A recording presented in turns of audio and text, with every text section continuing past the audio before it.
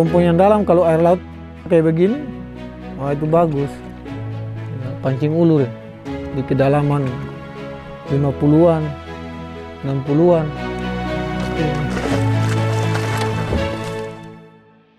Kawasan timur Indonesia dikenal memiliki karakteristik yang sangat khas dan menjadi primadona baik dari sektor kebudayaan dan perikanan.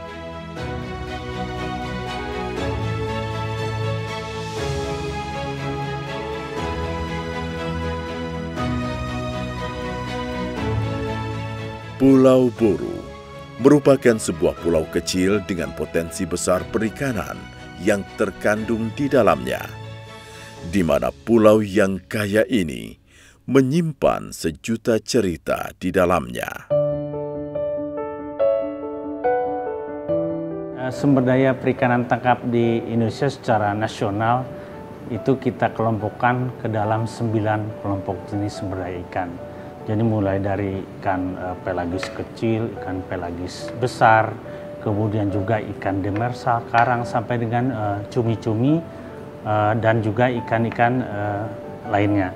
Jadi kita memiliki potensi sumber daya ikan secara nasional itu sebesar 12,01 juta ton per tahun yang merupakan angka MSY istilahnya yaitu tingkat penangkapan ikan secara lestari. Nelayan merupakan profesi yang sudah cukup lama ada di negeri ini. Mengingatkan kita dengan peribahasa nenek moyangku seorang pelaut. Menyiratkan bahwa laut adalah tempat mencari penghidupan bagi bangsa kita.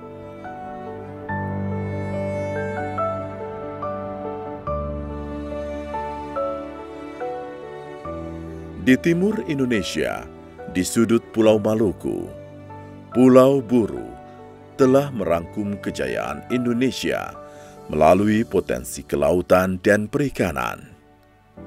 Potensi yang cukup besar dengan sumber daya yang melimpah untuk kesejahteraan masyarakat. Tak heran bila masyarakat Ambon dikenal sebagai seorang pelaut.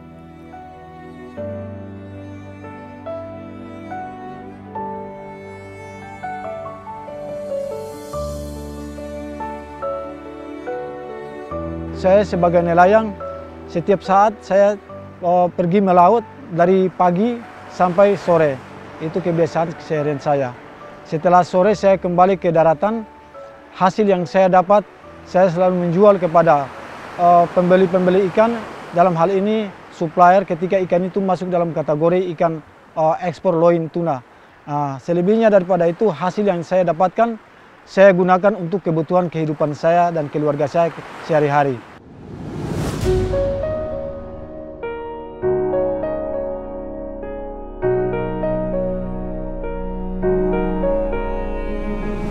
Ketika mau melaut biasanya kami malam kita sudah mempersiapkan kebutuhan yang sifatnya menyangkut terutama untuk bahan bakar itu penting sekali.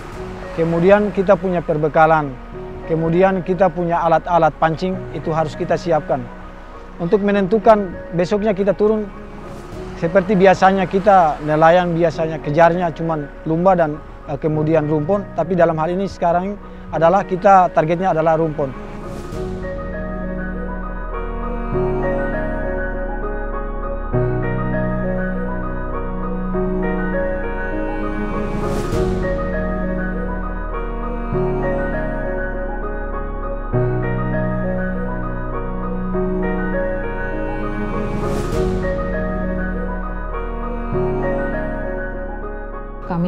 Potensi perikanan yang cukup besar uh, karena berada di dua WPP pengembangan perikanan di 714 dan 715. Saat ini 2021 dari BPS merilis produksi perikanan tangkap kami itu kurang lebih 11.090 ton. Sebagai komoditi unggulan untuk pelagis besar kami, kurang lebih potensinya itu ada di kisaran 13.000 dengan jatah tangkap yang dibolehkan 11.000 di antaranya e, tuna yang merupakan komoditas unggulan kami.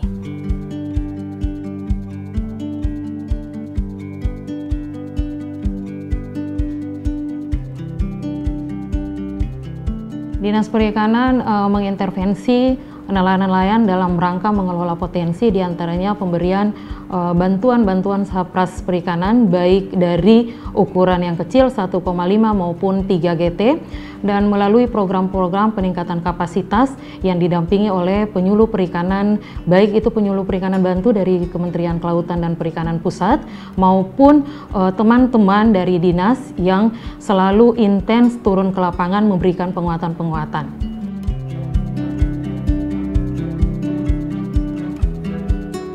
Uh, terkait pengelolaan hasil penangkapan ikan, uh, kita concern kepada bagaimana ikan ditangkap, yaitu kita pastikan dengan alat tangkap yang ramah lingkungan, sehingga uh, kualitas uh, mutunya terjaga. Yang kedua juga uh, kita pastikan bahwa ikan ini ditangani dengan baik di atas kapal oleh uh, kru atau awak kapal yang memiliki sertifikat, ya, sertifikat cara penanganan ikan yang baik.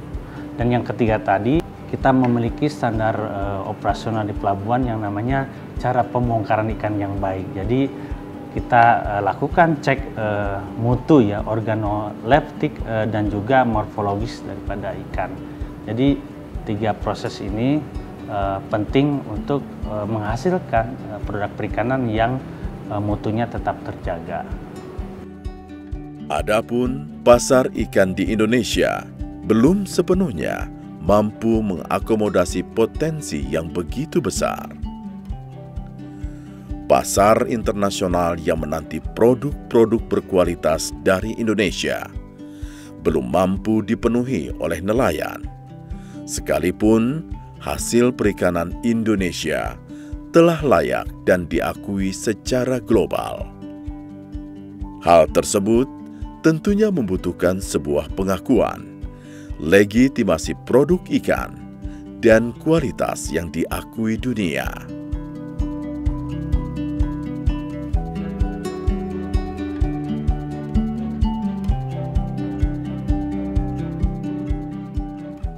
Sertifikasi dari Eco Labeling Marine Stewardship Council atau MSC merupakan bukti penguatan akses pasar produk ikan tuna bagi nelayan skala kecil yang diinisiasi oleh Masyarakat dan Perikanan Indonesia atau MDPI.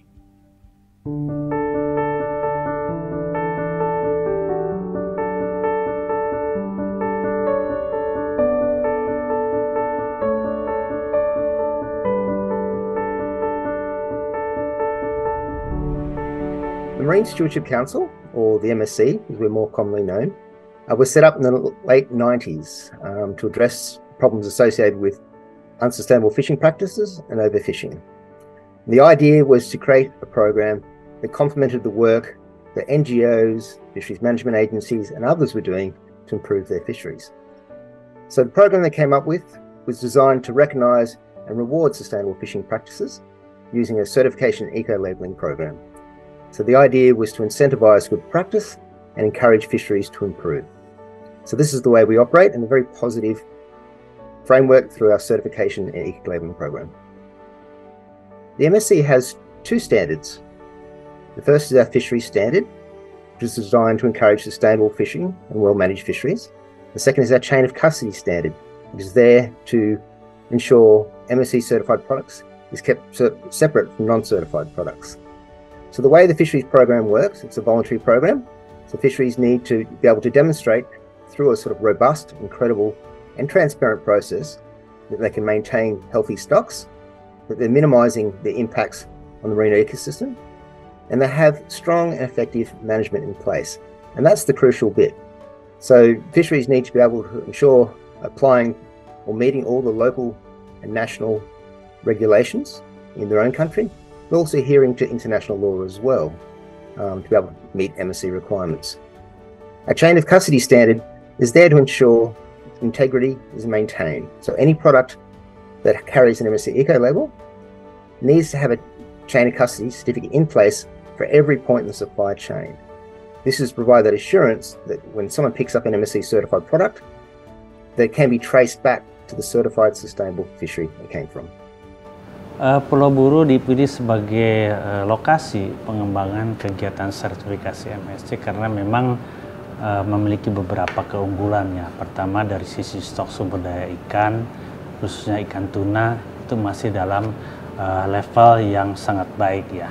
Artinya belum uh, dalam uh, kondisi tekanan penangkapan.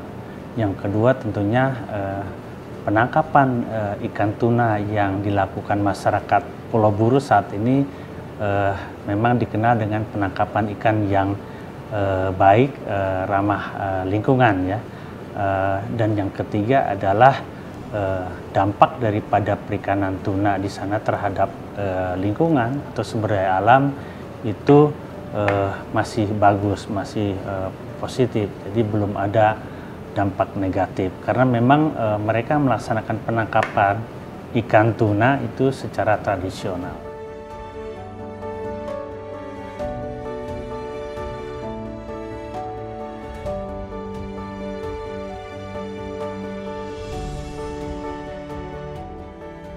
For fisheries such as um, Buru to undertake the assessment process and achieve MSC certification is an outstanding achievement, um, and they should be applauded for that and celebrated for doing so.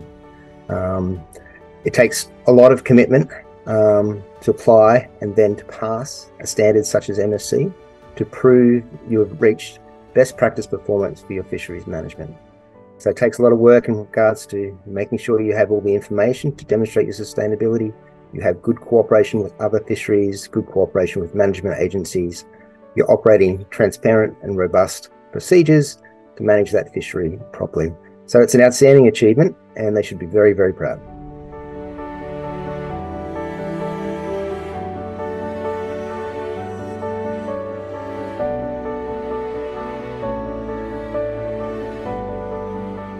Nelayan buru harus memastikan kegiatan penangkapan ikan dilakukan bertanggung jawab, yaitu dengan tidak melakukan penangkapan IUU fishing. Memiliki dokumen kapal, melindungi hewan ETP, melaporkan hasil tangkapannya, memberikan akses kegiatan port sampling, dan mengimplementasikan berbagai teknologi yang mendukung kegiatan pendataan. Melaksanakan rapat rutin kelompok, aktif terlibat dalam diskusi dengan pemerintah dan forum co-management baik di daerah dan pusat dalam menyampaikan kondisi-kondisi yang terjadi. Kami juga bekerjasama dengan KKP, peneliti, akademisi, dan Provinsi Maluku. Kunci keberhasilan ini adalah kolaborasi, komitmen, dan saling mengambil peran dalam menjalankan aksi peningkatan perikanan. Buru dipilih karena salah satu sentra tuna yang telah melaksanakan berbagai kegiatan dalam mendukung perikanan berkelanjutan, yaitu dimulai pada tahun 2013, kegiatan port mulai dilakukan implementasi sertifikasi fair trade menjadi area pertama di dunia yang memperoleh sertifikasi fair trade produk makanan laut di tahun 2014.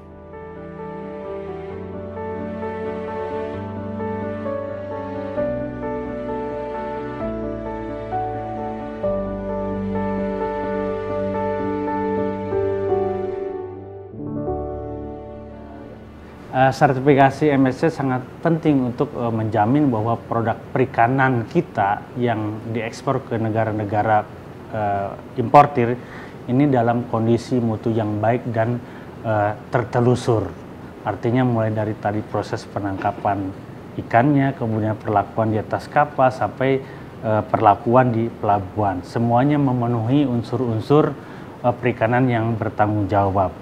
Nah, ini penting mengingat Eh, persyaratan untuk ekspor khususnya ke negara-negara Uni Eropa ini sangat ketat dan mempersyaratkan tadi satu ketertelusuran, dua uh, mutu yang uh, sangat baik.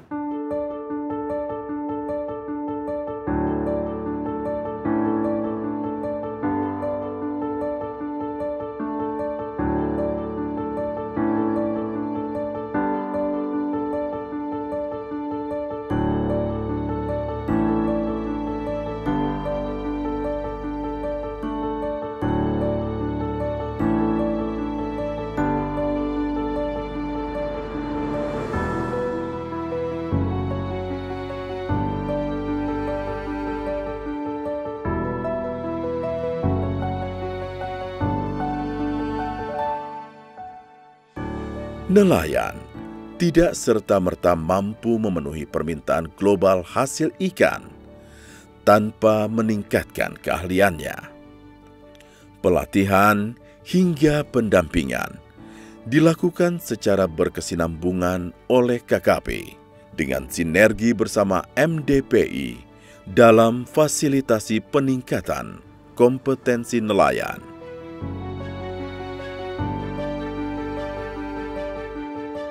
Ya, eh, pemerintah memberikan dukungan berupa pendampingan ya di eh, tahapan-tahapan tadi untuk eh, sertifikasi MSC. Mulai dari tadi tahap pre-assessment, kemudian juga tahap menyusun rencana aksi dan juga tahap assessment ya akhir. Dan juga kita memberikan pendampingan dalam hal penyusunan rencana pengelolaan perikanan dan juga bagaimana cara pemanenan yang baik atau istilahnya harvest strategi dari perikanan ini. Demikian.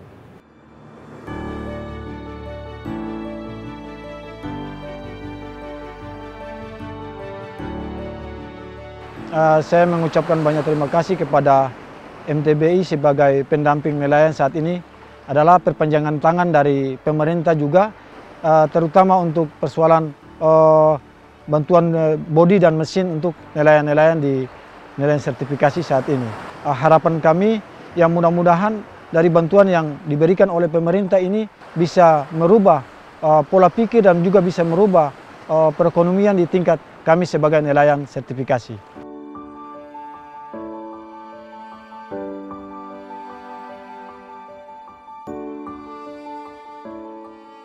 di Buru telah mulai mengimplementasikan sertifikasi Fairtrade sejak 2013, maka nelayan mulai paham dan aktif terlibat, sehingga tidak ditemukan kendala yang berarti untuk melaksanakan sertifikasi MSC. Kolaborasi adalah kunci tercapainya sertifikasi ini, terutama dengan Kementerian Kelautan dan Perikanan. KKP berperan penting sebagai regulator dan memiliki tim ahli dan peneliti dalam menilai kondisi-kondisi perikanan tuna yang akan dikelola. KKP sangat antusias dan sangat konsisten untuk mengupayakan terlaksanakan pengelolaan tuna yang berkelanjutan berbagai kebijakan telah dikeluarkan untuk mendukung ini, yaitu antara lain adanya EPPTCP dan Rencana Aksi Nasional dalam pengelolaan tuna yang diterbitkan pada tahun 2015 dan telah diperbaharui pada akhir tahun 2021.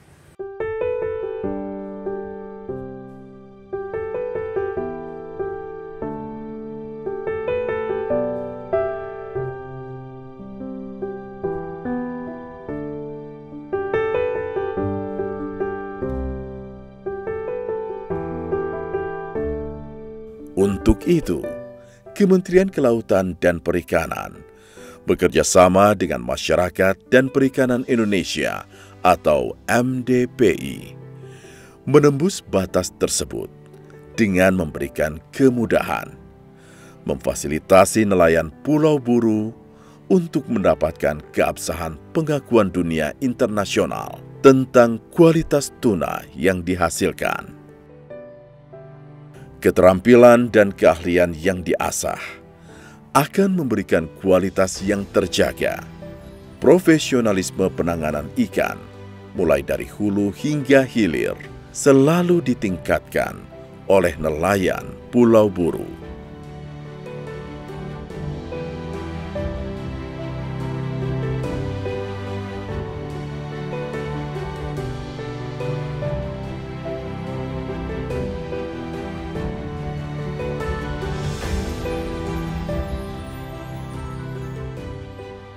Prosedur untuk uh, memperoleh sertifikasi MSC adalah pertama tentunya diawali dengan pre-assessment ya.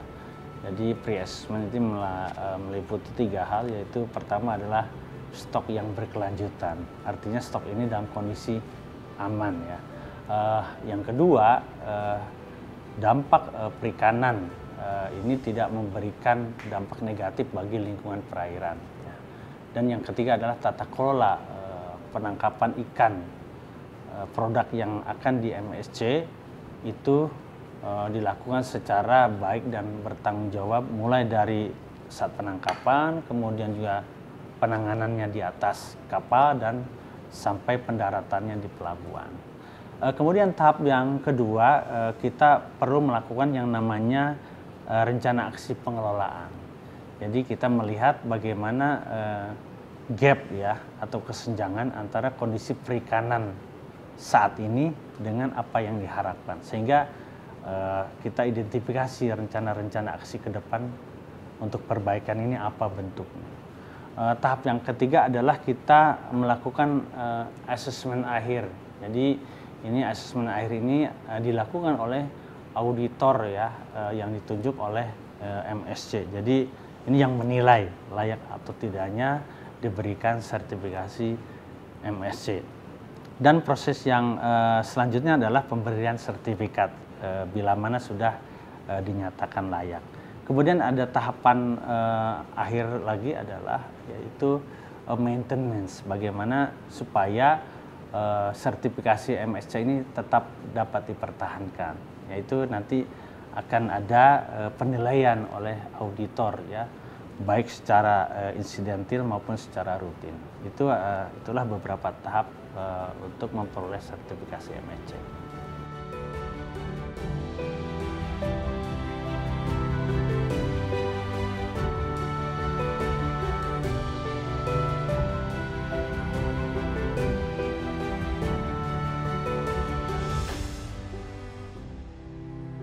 Karena ini kita tarik mundur lagi karena dulu kita belum masuk dalam organisasi ya otomatis kita punya pendapatan itu masih sifatnya ya kita gunakan asal-asalan. Namun alhamdulillah setelah kita masuk di dalam organisasi lewat pendampingan MDPI ini sudah ada pelatihan-pelatihan terkait penggunaan dana uh, atau pendapatan ini. Nah ini kita sudah bisa sudah bisa mengatur terkait dengan kita punya keuangan ini kita sisipkan untuk kesehatan, sisipkan untuk pendidikan, untuk pembelanjaan dan juga untuk uh, operasional kegiatan melaut kita. Ini yang menjadi satu apa pengalaman di mana kita tidak pernah sadari bahwa betapa pentingnya uh, manfaat yang kita dapatkan dari pendampingan MBPI selama ini.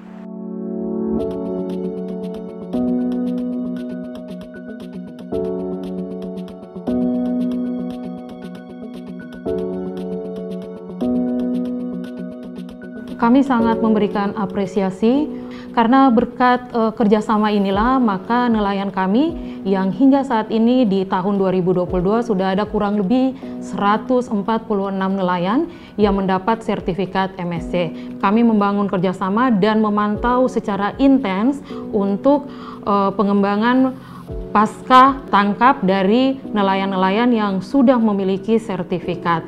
Dukungan utama yang kami berikan uh, sudah tentu pertama ya Sapras mengelola aset-aset kami berupa ice flag maupun pabrik es sehingga nanti uh, ikan-ikan tuna yang diekspor ini grade-nya akan bisa dipertahankan yaitu berada pada grade yang tertinggi. Demikian.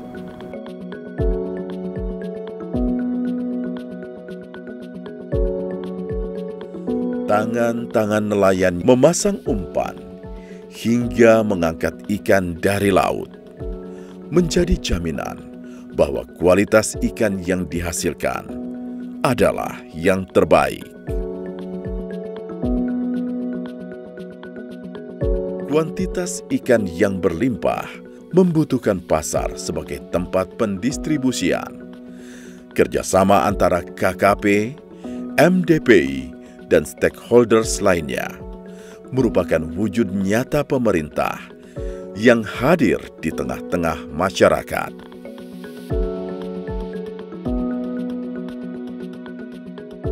Mempermudah alur distribusi, peluang usaha, serta memberikan peningkatan keahlian bagi nelayan.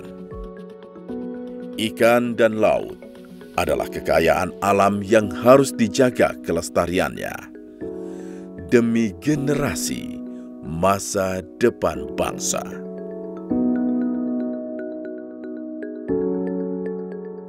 Kesejahteraan dan peningkatan pendapatan adalah manifestasi dari kesuksesan sebuah program.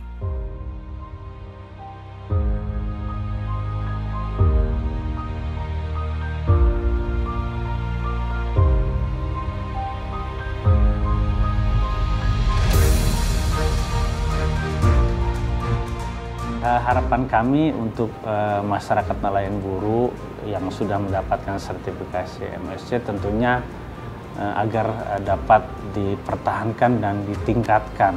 Jadi sertifikasi ini penting ya tadi untuk bagaimana jaminan menembus pasar ekspor. Nah, eh, ini bisa juga disosialisasikan eh, kepada masyarakat atau kelompok masyarakat lain, baik di wilayah buruh maupun eh, sekitarnya.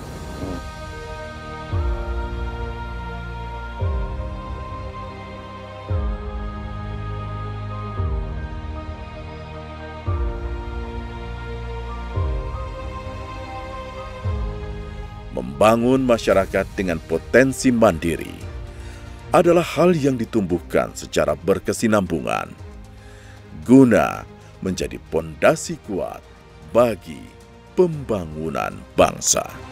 Thank you.